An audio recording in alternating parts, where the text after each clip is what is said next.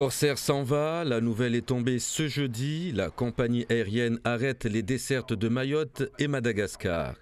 Elle est contrainte d'arrêter ses vols à Mayotte, d'une part à cause d'une piste trop courte pour accueillir des gros porteurs comme les Boeing 747 qui opèrent dans la zone océan Indien.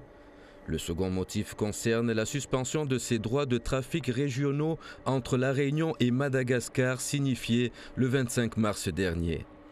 Suite à cette décision, la desserte de Mayotte ne peut plus être combinée avec Madagascar, une disparition qui va mettre un frein à la situation de concurrence qui existait dans la région, déplore la compagnie Corsair International dans un communiqué de presse.